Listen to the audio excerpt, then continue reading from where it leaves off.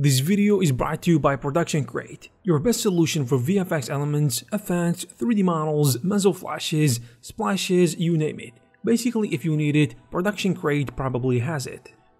Creating a space scene has always been a challenge for 3D artists. You can always rely on references and your eyes to see and produce the look, feeling, and composition that you are aiming for. But when it comes to making big scenes for outer space, you can only depend on images provided by NASA or other space-oriented environment art sources. That's why creating a masterpiece such as Star Wars was never an easy task. It is safe to say that in the last decade, creating space scenes has become less challenging, as there are a lot of assets and kits available out there in order to help you create whatever you imagine. And one of the very few places where you can find high quality assets along with high-res space HDRIs is Production Crate. Whether you are a movie creator, a graphic designer or a 3D artist, Production Crate is the right place for you. This amazing website offers a wide range of creative kits, professional assets, and high-res textures for all types of movies, films, and 3D productions. We are talking about assets that are used by Hollywood movie productions and other professional filmmakers. On their website, you will find 10,000 plus creative assets used for VFX, motion graphics, sounds, royalty-free music, 3D models, materials, scripts and plugins, tutorials, VR environments, and a lot more. But let us focus on the space-related HDRIs that are very rare to find. Production Crate offers the best high-quality HDRIs of stratosphere and orbital space that can be found out there. This involves tens of 16K resolution HDRIs that can be used to make any type of scene in the best possible quality. You can check them out under 3D and AR, environment and space. Or you can just click the link in the description of this video. And now, let's put some of these assets to use by building a small scene using some of the production crate assets in Blender. First of all, let's import some assets to the scene. Of course, we'll be using some of the new production crate space assets HDRIs and models.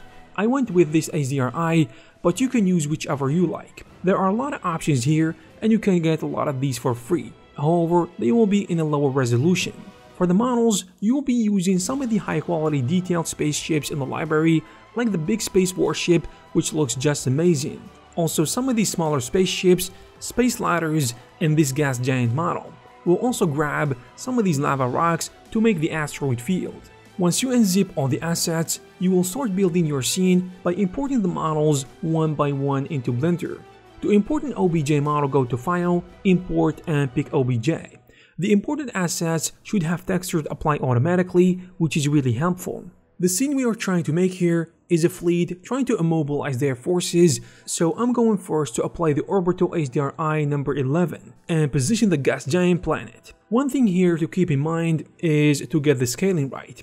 We are talking here about a cosmic scale, so it is good to keep these things as big as possible. You might need to change the clipping distance of your viewport and camera. To adjust the viewport clipping distance, you can find the option in the View tab in the N panel. Just crank up the end clipping distance to a big number. Select the camera and from the camera options, set the end clipping distance to the same number. Remember, anything outside of this clipping distance will not be rendered.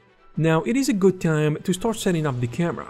Put your warship in the middle with the planet behind. Now we're gonna give the camera and the spaceship a subtle animation to add some dynamics to the shot. The camera is also gonna be panning toward the fleet, so set the keyframe at the beginning by hitting I on the keyboard, and choose location. If you want to animate the rotation like I'm doing here, you can pick the location and rotation.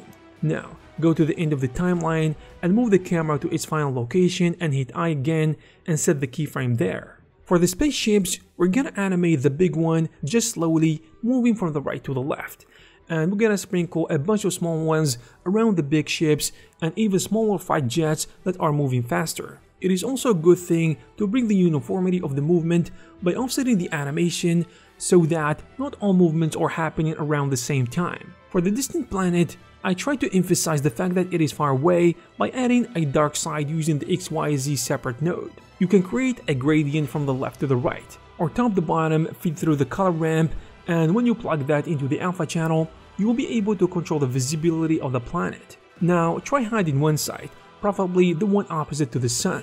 In my case, I also duplicated the planet and scaled it up. and used a volume shader to add some atmosphere. For lighting, the HDRI is doing the most heavy duty, but I'm going to add the sun lamp with a power of 15 to the scene.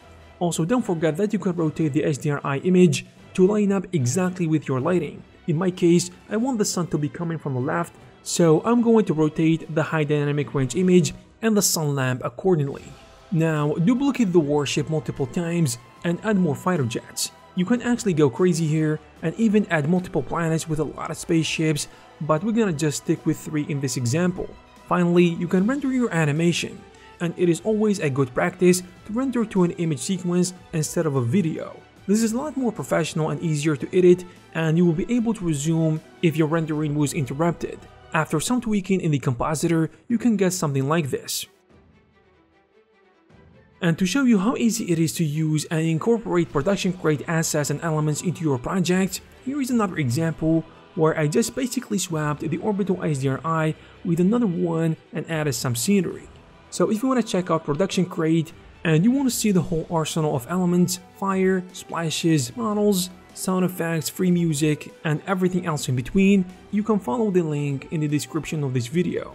I hope you found this video useful. If you did, please give it a thumbs up. You can also check some of our previous videos. Thank you very much for watching, and I'll see you in the next one.